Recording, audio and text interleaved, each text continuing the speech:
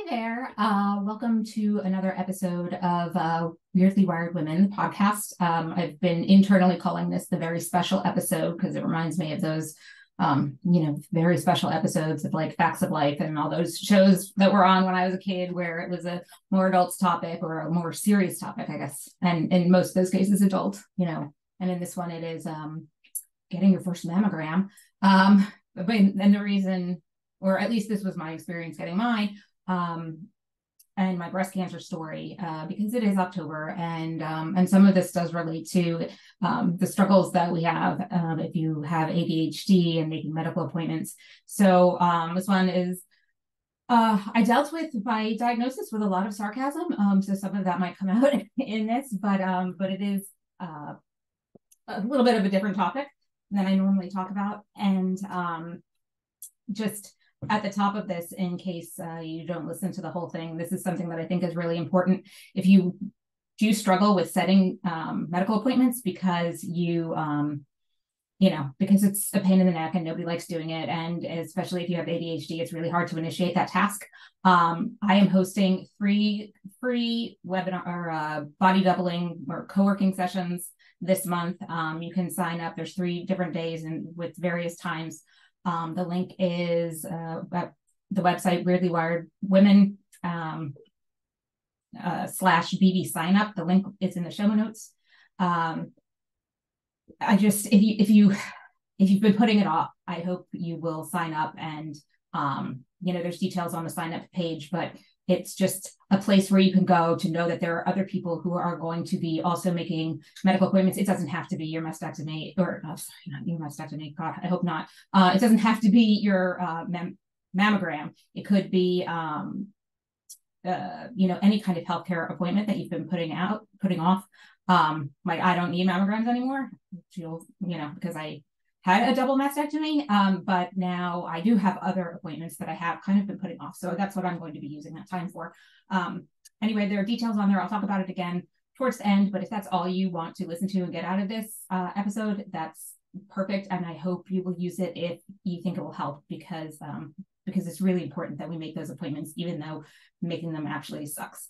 Um, also kind of sucks to go to them, but that's another, I can't actually do co-working to help you with that.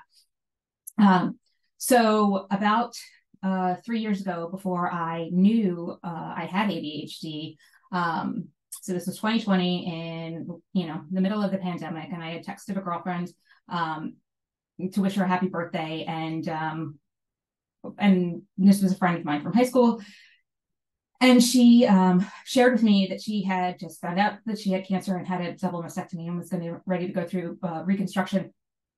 And I was just not prepared for that. I mean, I still, I think sometimes forget where I am on the calendar. And, um, you know, and I had had friends who had had breast cancer before, and it, it, it never quite affected me like it did to find out about um, this childhood friend, maybe because I, when I think of us, I think of us in that young, youthful relationship, and that's kind of where it is. And so when I think of her and us i think of us as those young people who don't have to worry about these things. But but we do because we have aged and you know now in our 40s these are things we have to be concerned with. So it just sparked um uh, it motivated me to finally sign uh, to make an appointment for my own mammogram which i was years overdue for for my first mammogram. Like i knew i should be getting it. I knew that it was important I really didn't want to because it sounded like it was really uncomfortable. And then I'd have to figure out where to go because, you know, you get the referral. Like it's just a process about, um, about COVID and medical appointments and things. But I got in. Um, you have been putting off getting a mammogram because you think it will be like the worst thing. Um, you know, it's not a picnic, but it, it was not as bad as I was setting it up in my mind. I mean, it wasn't comfortable, but it also didn't take very long. Um, and it wasn't the nightmare I was building it up to be in my head. Again, not a picnic. And, um, you know, I recommend going and doing something fun after it. You know, go get yourself a milkshake or, you know, a new pair of shoes, whatever. Um, so, um, anyway, the the woman who um, who did my mammogram had warned me that because this was my first one, I would probably get a call back because they, um, you know, because they don't have anything to compare it to, and so anything that looks a little weird, they're going to, um, they're going to want to double check, right, so that they have established my baseline.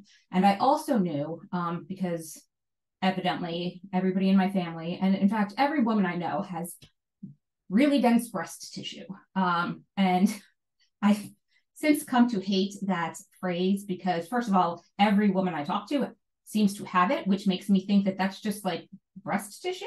And there's like, I mean, I guess there are people out there with less dense breast tissue. I don't know. But it also feels a little like accusatory, like I'm doing that on purpose, like I'm making them dense somehow by, I don't know, packing snacks in there. I don't know. Um, so at any rate, I did, sure enough, get called back for a second mammogram and an ultrasound. And so they did that. And um, and then while I was waiting, uh, they, they looked at my ultrasound results while I was there. And um, the radiologist recommended that I go for a biopsy because of something that they found and they couldn't really really tell. And they wanted me to go for a biopsy. So I went for the biopsy, and that was a needle biopsy. Um, and sure enough, the results came back um, that I had um, what uh, it's called DCIS, ductal carcinoma in situ. So um, it was isolated to milk ducts. It was on my right side. Um, and so then it was a matter of figuring out um, what I was going to do. And so I met with a breast surgeon and um, he sent me for an MRI. And then after the MRI, because they want to make sure that there's nothing else that, you know, they need to be concerned with. So they sent me for the MRI. After the MRI, I had to go back and get an MRI biopsy because they found some other weird section. And then those cells were like, we don't really know. They're not great. They're not, we don't know. They could turn into things, but they might not. And we, you know, who knows? And so at the time when I very first heard that I got the diagnosis, I was considering doing um, a lumpectomy and radiation. And so they would have just removed the part of the breast that was affected. And as long as they got all of it, you know, and I went through the radiation, that would be fine. But then um, I did a little bit more research and I talked to my friend who had spurred me on to getting um, getting this done and to getting my mammogram. And I um, she shared with me her experience and um, and I ultimately decided that for me that that was what I that I would be most comfortable doing is just getting the double mastectomy, having all risk like I mean, there's still a, very small risk that breast cancer will recur, even though I have no breast tissue. But um, that for me, that was what I wanted to do, and that seemed like the best option, and eliminated most of the risks of me possibly having to go through um, radiation or chemo or something else later, um, at least related to breast cancer. So um, I scheduled that. Um, I had some really fun text conversations with uh, with a lot of my friends because, uh, well, humor gets you through a lot of stuff, and also um, because I kind of felt a little weird. Um, I chalked it up to um, at the time just being so fatigued with um, with all of the stuff from the pandemic, you know, the school closings and the lack of childcare and um, you know the panic and the death and the murder hornets and like every day it seemed like there was some other thing um, that came up in 2020 that by the time uh, the breast cancer diagnosis rolled around for me, it was sort of like, well, of course, I mean, it's 2020. What else is it going to be? And um, and then um, and and so I just figured I was just too um, just too sh- just spent like i just had nothing else. And then i thought about it a little more and this was something that i did feel like i had some control over. You know i i, I got to control the decision um, a little bit of the timing because we caught it so early. Um, not a lot of the timing but so I, I was i was thinking that maybe it was that. Um, now after i've gotten my diagnosis i realized that it's probably a little bit more that um, i went into crisis mode and and you know um, a lot of people with ADHD tend to do really well and seem really pulled together and organized and they like give me a crisis i can deal with that. Make me make that stupid appointment and i will drag my feet forever because it just seems impossible but some, somehow more impossible than going through a major surgery. Um, so I was going through all of that and, you know, feeling a lot of complicated feelings um, because I had put it off so long. And I was very fortunate that I still caught it early in spite of like my own best efforts to screw myself.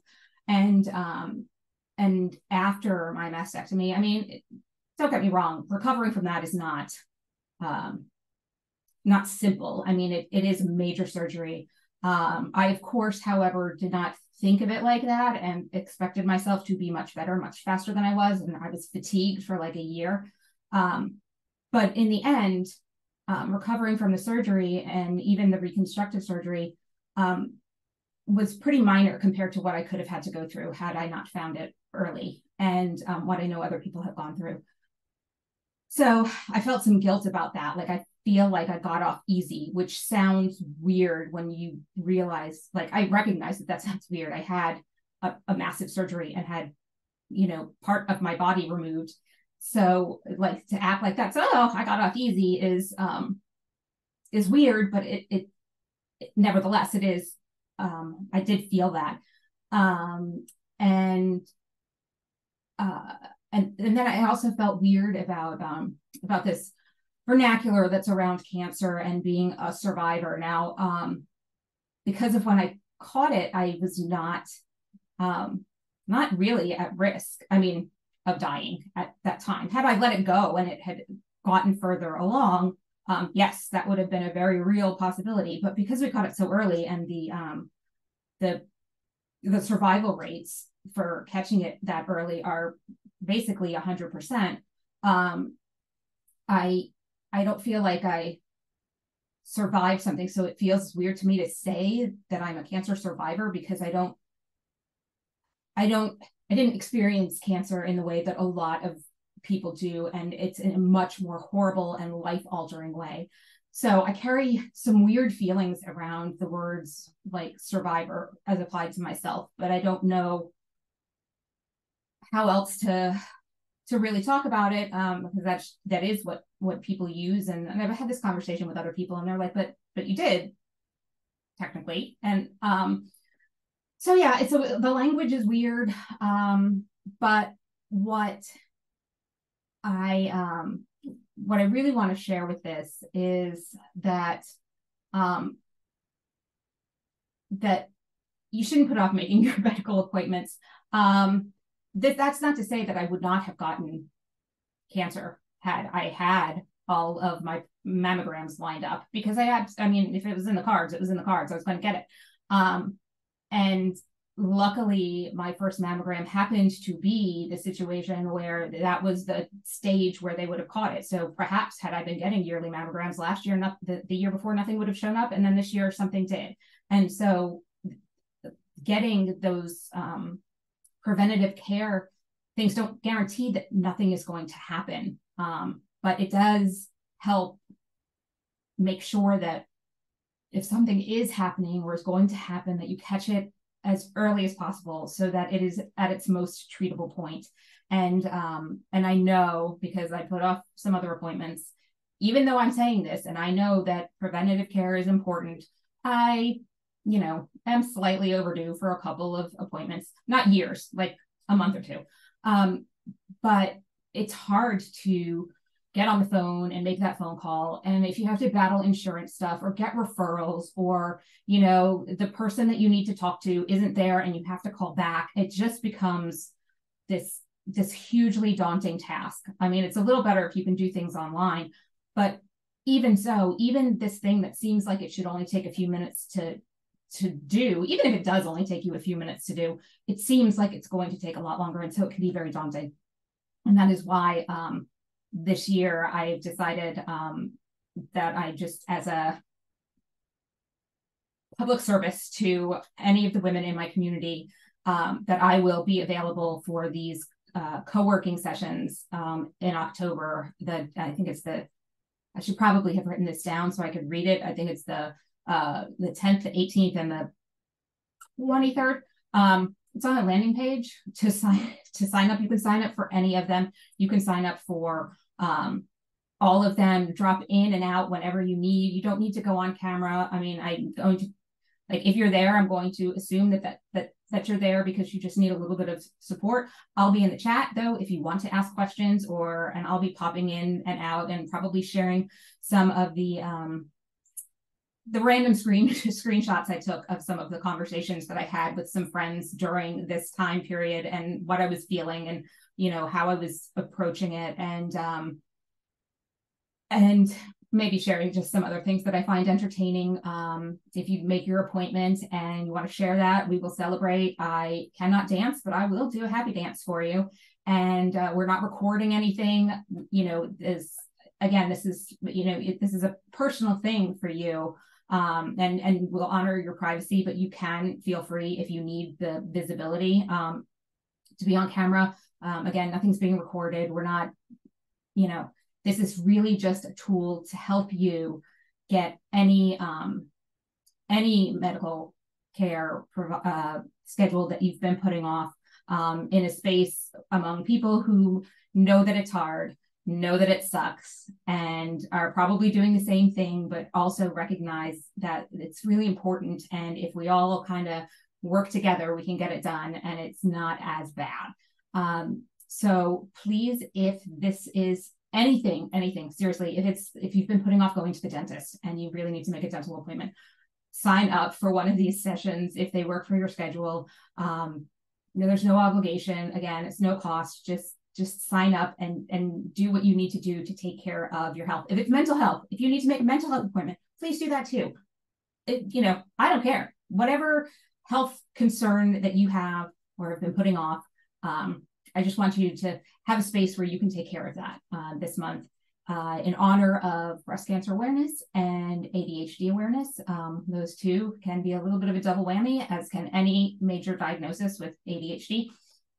So, uh, so that's just what I'm doing to, um, I don't know, uh, pay back the universe for uh, for the gift of an e- an easy cancer diagnosis after all of my um, you know probably attempts basically to make it as hard as possible by not scheduling my appointment early so um, i'm very grateful for that i'm grateful for all the friends who supported me and made meals and helped out and you know sent texts and cheered me up through the whole thing um, and so that is just uh, what I want to gift back to um, my community of people. And um, and if you want to share it with someone else who you know also needs to do this, please do that too. Because um, again, it's just really, really important that we make sure that we're taking those steps to take care of ourselves. Um, and and I know how hard and how much of a struggle it can be to actually make that step. So that is the end of this very special episode of uh, Weirdly Wired Women. Um, we'll be back talking about more uh, more business related things, um, and maybe though a little bit about how you know being having my own business at the time and working this into that was um, you know how I was able to make that work, and you know there's other things around it that happened. So I think maybe this won't be the last time I discuss it, but this is the last time I will discuss it in quite this much detail. So um, please, again, the uh, the information is in the show notes, but it's weirdlywiredwomen.com slash BB sign up. And uh, I hope to see you there if you uh, if you need a little bit of support. Thanks.